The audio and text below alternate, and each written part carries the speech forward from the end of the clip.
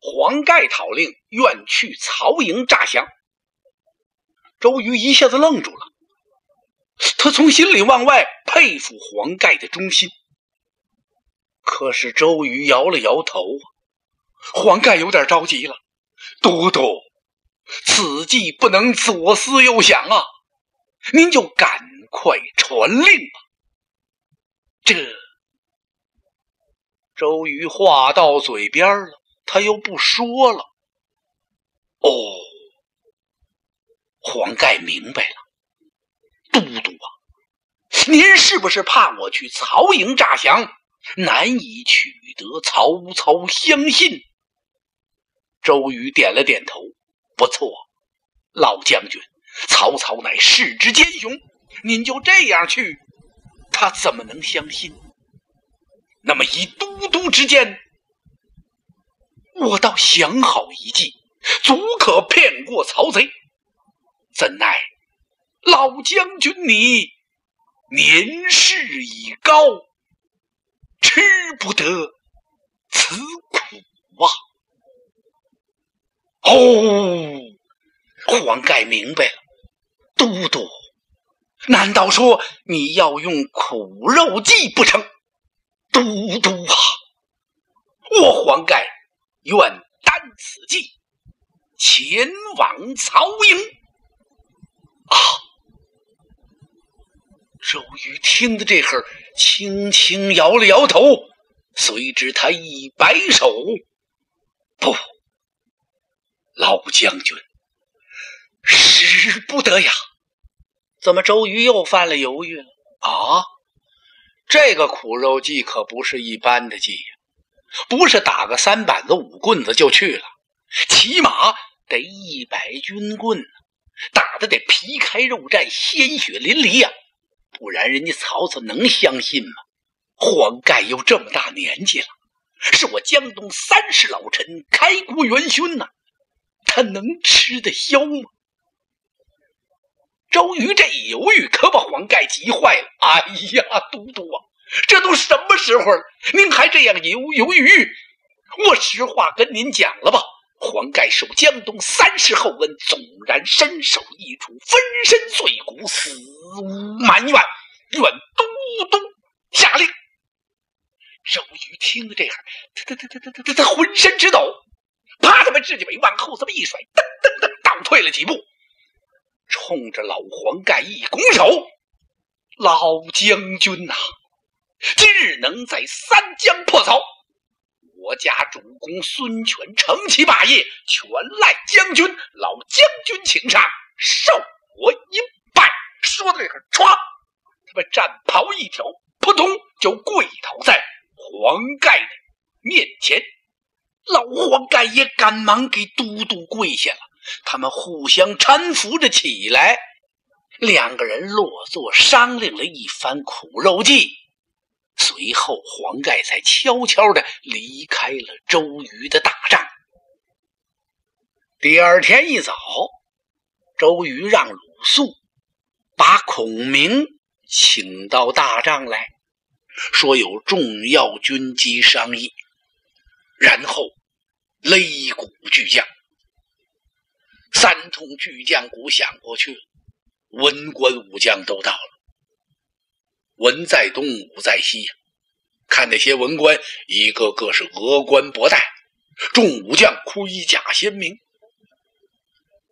周瑜都督在帅案后秉正归坐。旁边有一把大椅，那是给客人孔明先生准备的。诸葛亮进来，往那一坐。周都督身后站着捧剑官、捧印官、中军官。大张张口，外边左边有龙头棍、虎头棍，右边是二百削刀手。呵，好不威严一座中军宝帐。都督左手一摁佩剑。右手轻轻的一弹雉鸡翎，列位将军大人，请了。大家急忙一拱手，都督都督，说我奉主公之托呀，率三军破曹。如今曹操领百万虎狼之师，屯兵江上。我们和曹营相比是众寡悬殊，就是说曹操人马太多了，咱们江东人马太少了。指日破曹，谈何容易？说是想着一仗就把曹操给打败了，那太困难。本都我想，从今日起，分发给各位将军三个月的粮草，以防御为主。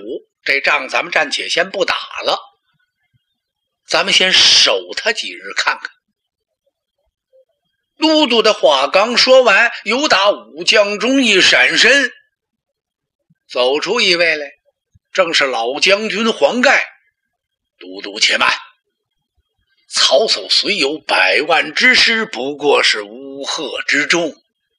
今日我既然领兵兵聚三江。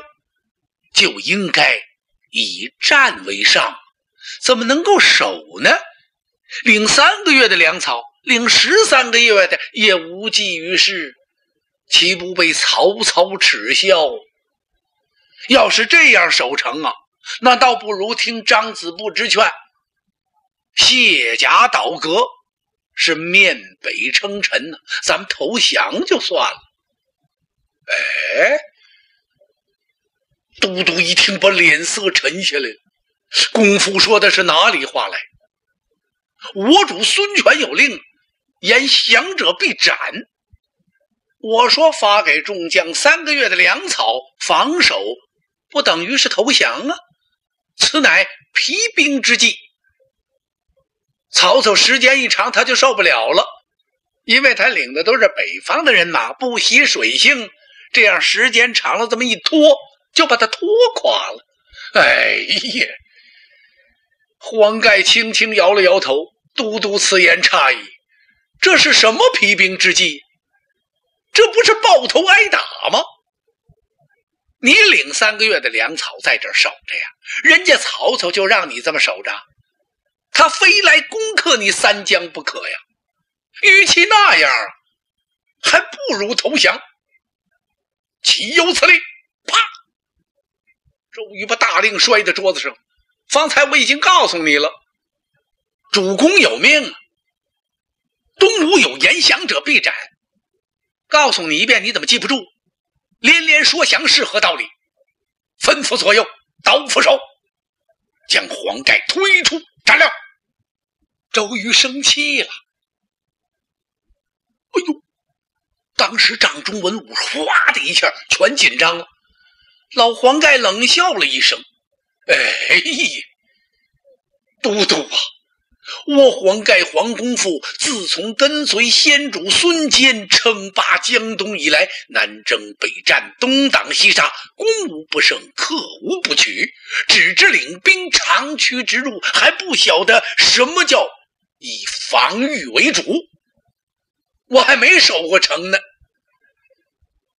在那时，可不知都督你在何处？哪有你周瑜？这下可把都督给气恼了。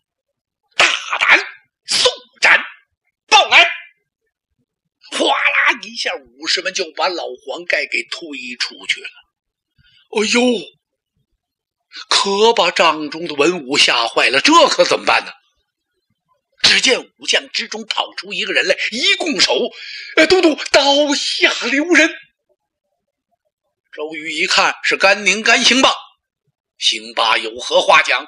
哎呀，都督啊，黄盖老将军乃是我江东旧臣呐，是我主孙权股肱之将，就像主公的胳膊腿一样。没有战胜曹操之前，怎么能杀此老将？这样于君不利。望都督饶恕！呸！大胆甘兴霸，敢乱我军法！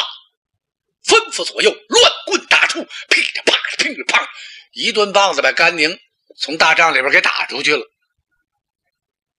这些子文武可吓坏了，看来都督今天是非杀黄盖不可了。那怎么得了啊？黄盖是江东重臣呢，怎么就能这样轻易给杀了？这怎么也得说个情啊！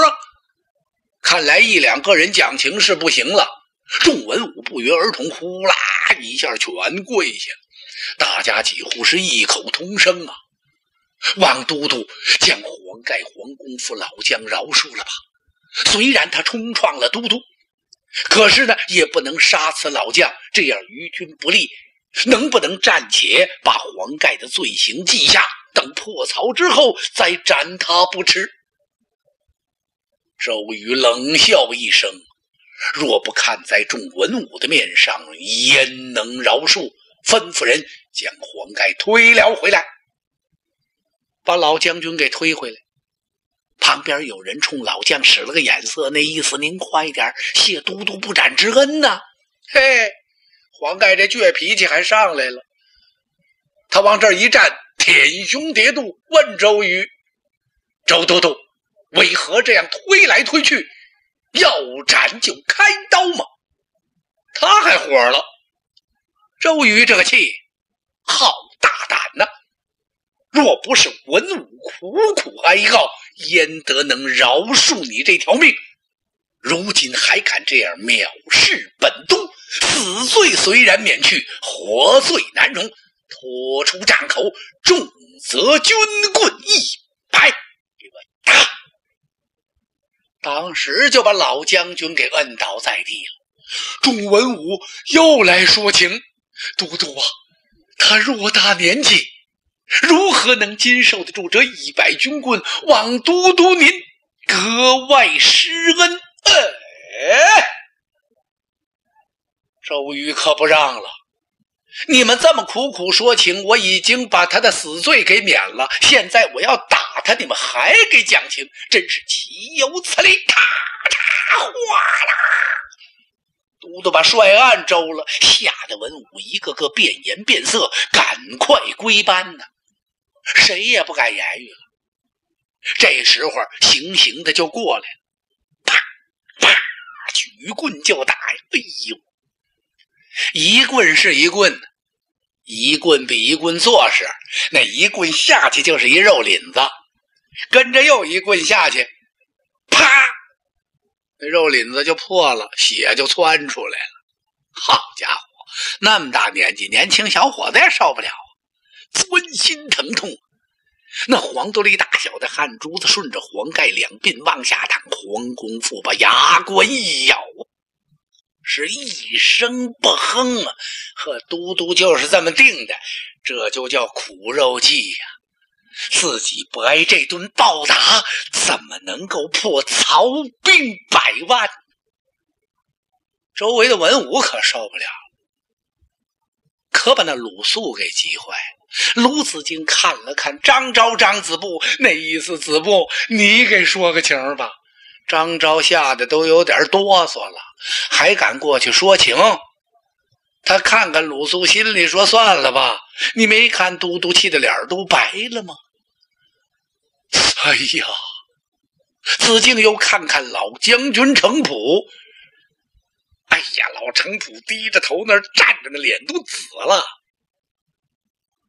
这时候您再看那个曹营来的那蔡中、蔡和那俩降将，腿都木了，这俩魂都出窍了，吓得心里说：“我的天哪！我说江东周瑜名气这么大，那么厉害呢，感情他真打活人呐。”那么大岁数老头按那儿就臊，好家伙！俩人互相看了一眼，心说：“咱俩可得格外小心点稍有疏忽，露出一点马脚，都督非把咱俩剐了不可呀！”鲁肃看看这个，看看那个，都不好使啊，没人搭理他。可不，鲁肃急坏了，心说：“这怎么办？”哎，他一眼看见孔明先生，心说：“诸葛亮，您给说句话吧。”您比我们面子大呀，您是客人呐，别让老将军受这样的折磨了。他急忙冲着孔明先生使了个眼色，嘿，这位孔明先生可真好，坐在那儿稳稳当当的，连眼皮都不抬，右手拿着这鹅毛大扇，左手啊。就捋那扇子铃他可真消闲。大帐里你爱怎么乱怎么乱，与他无干呐。你说这事儿怎么办呢？子敬有点生气，心说：“孔明先生，您不对，您再怎么说是这儿的客人吧，咱是孙刘两家联合破曹。这今儿个都督一怒要把黄老将军给打死，这怎么算呢？哦，看来这不是关羽、张飞和赵云要打他们，您早急了。合着我们江东这打死一个少一个啊？哎呦！”子敬想到这儿，看了看都督，心里说：“都督，您赶快下个令吧，别再打了，再打黄盖老将就活不成喽。”子敬一看周瑜呀，站在那儿，浑身直抖啊！看都督牙关紧咬，紧锁眉峰，他头上的那指甲灵微微直颤。看来都督是气的。其实哪儿啊？周瑜都督是疼的，疼黄盖。那每打一棍打在黄盖的身上，就如同打在周瑜心上一样。可是他怕有人看破他们的巧妙机关。卢子敬看看都督那样，他也有点担心。我要过去一说情，都督会不会火了？把我摁那儿也打一顿，哎呀，打就打吧，我连情都不说了，干脆我替老将军领刑得了。想到这儿，腾腾，卢子敬几步过去，扑通，他就趴在黄盖身上。都督棒下留情，鲁肃愿替黄盖将军领刑，打我吧。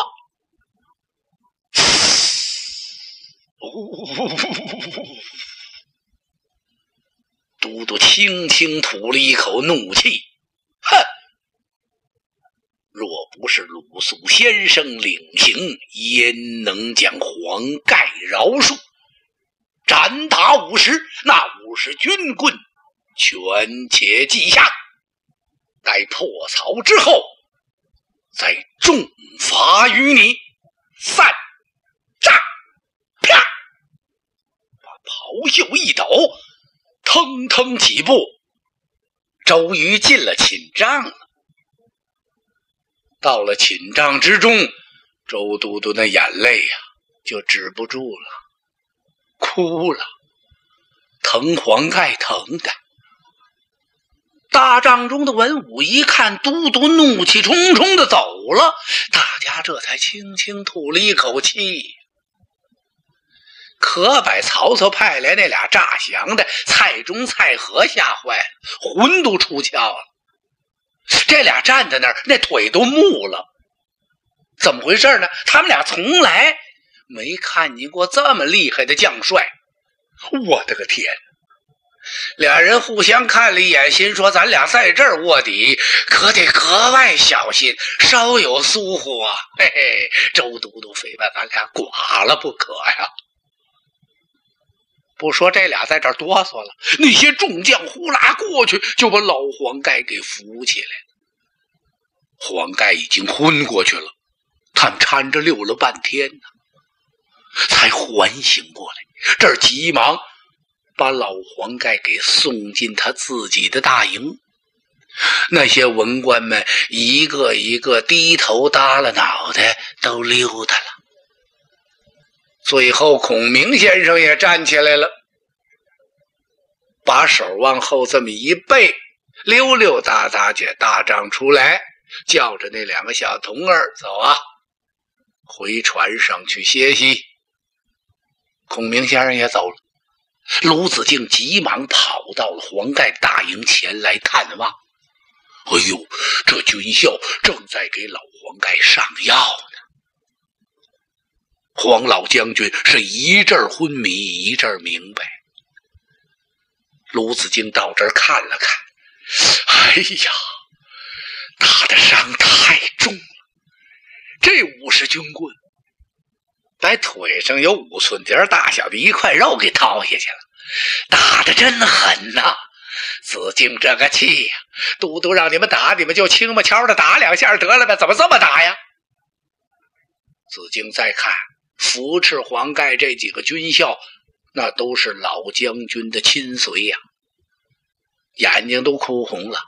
哼，还不如我们替老将军挨这顿打呢。都督心太狠了。子敬怕他们乱说，告诉这几个军校，你们要好好扶持老将军。如果老将军稍有差池和意外，我拿你等试问。这几个军校一听，嗯，子敬先生，你拿我们试问干什么？你劝劝都督，少打老将军两下，不比这强吗？少废话！子敬说完，心里也不是滋味啊。然后又告诉一声：“谁也不许来随便探看黄盖将军，让他好好养伤。来人，不许让他进来。”哦，卢子敬说话真算数。哎呦，那叫赞军呐！按现在话来讲，总参谋长说话不灵，能行吗？吩咐完了，子敬回到大帐里边，越想越生气。真是怪，这是怎么了呢？都督干嘛发这么大的脾气？老黄盖为什么这么大的火气？子敬想来想去呀，最使他生气的就是这孔明。你说你怎么一声不言语呢？不行，我找他去。气得子敬跑江边来。腾腾腾上了船了。孔明先生一看啊，子敬你来了，来了，坐下吧。嗯，我坐。哎呦，子敬因何面带不悦？鲁肃这气面带不悦，我能高兴得了吗？先生，你今儿做的太不对了。孔明愣了，我怎么了？在大帐之中，我家都督怒责黄盖老将军，你怎么不给说个情啊？我们都是都督的部下，谁也不敢直言苦谏，怕气恼都督。可你是客人呢，你要说几句，那比我们的面子大得多呀。你怎么会一声不响呢？难道我们江东的人打死一个少一个不成吗？子敬话刚说完。孔明先生乐了，哈哈哈哈！哎呀，子敬，何必前来与我相戏？你跟我开什么玩笑啊？子敬一听什么相戏，我这是跟你开玩笑呢。我说的是真的，什么真的？子敬，你就没看出来这是都督定的一计吗？我怎么解决？一个愿意打，一个愿意挨呀。都督准备要大败曹兵，在败曹兵之前，他很可能想派一个细作到曹营去诈降卧底。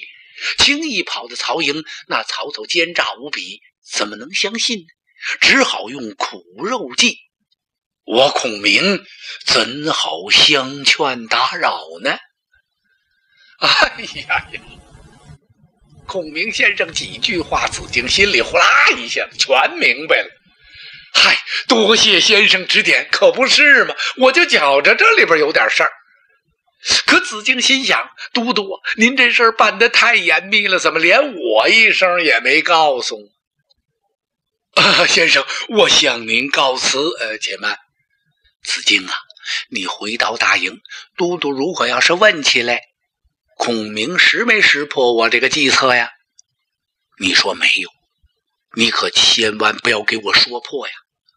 嗨，先生，您放心吧，我什么时候给您说过？呃，你没少说哟，每说一次都惹起都督不痛快。上次草船借箭，我是没给您说呀。对呀，如果你要说了，那剑就借不成了。今番你要给我说破，都督这一计。也使不成啊，破不了曹兵。呃，子敬，你可要负责呀！呵呵，先生，我记下就是。子敬高高兴兴的回来了。他先到中军帐，一看都督正在大帐里边背着手这儿踱步呢。哎，子敬，你这是从哪儿来？我在各营中看了一看。哦。子敬，我今天在中军打仗，责打老将军黄盖，文武之中可有些议论？哎呀，都督啊，简直是纷纷议论。议论些什么？都埋怨都督，您心太狠。哈哈，哎，子敬。孔明说些什么？连孔明也埋怨您这事做的不对。哈哈哈哈！周瑜笑了，好不容易哟，这次总算瞒过了孔明。哼！子敬心想，您根本就没瞒过，是孔明先生告诉我的。呃，都督，您何必这样责打黄盖？哎呀，子敬。我没来得及对你说呀，我这是用的苦肉计，这么这么这么回事，千万不要泄露此秘。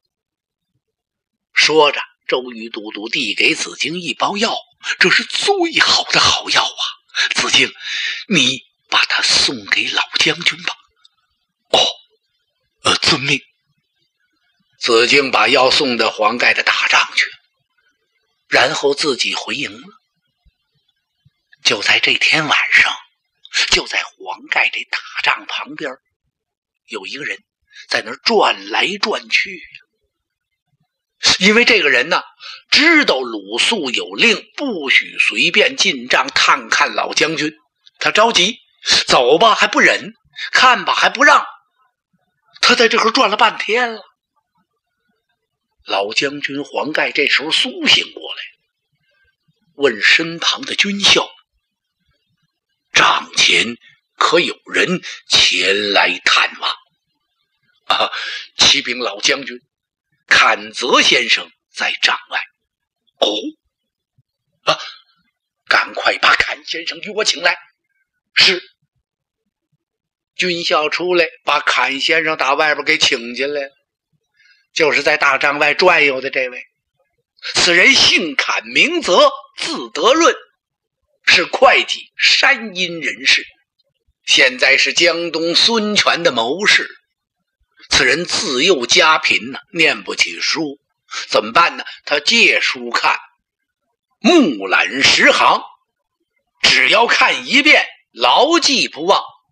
此人有奇才，而且非常雄辩，特别能讲，胆量还过人。在江东文武之中，阚泽先生。和黄盖非常要好。今儿个都督怒打黄盖，阚泽觉得很奇怪。他进帐来，先问了问伤势，然后他往前一欺身：“老将军，难道说您与都督素有侠嫌不成？